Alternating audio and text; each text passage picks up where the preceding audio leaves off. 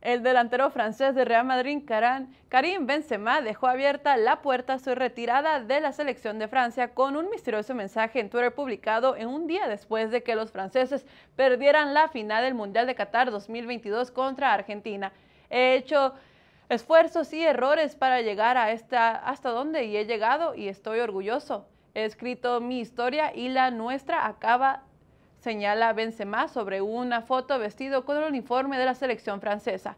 El mensaje deja abierta la puerta a su retirada internacional tras una tormentosa relación con la selección que acaba con la lesión de que lo obligó a abandonar el Mundial de Qatar 2022 dos días antes del debut de Francia en la Copa del Mundo. Muy triste esta noticia.